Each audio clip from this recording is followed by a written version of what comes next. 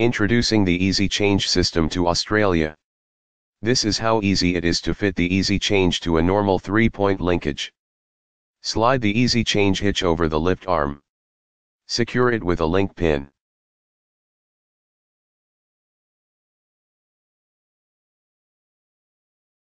Lock it with the U-bolt.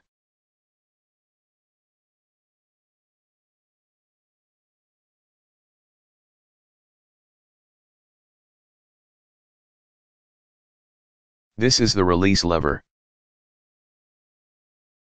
Let's pick up this slasher.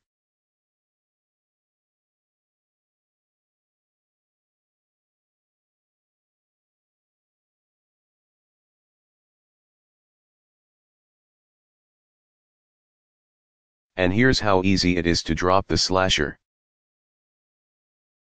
Let's do it again.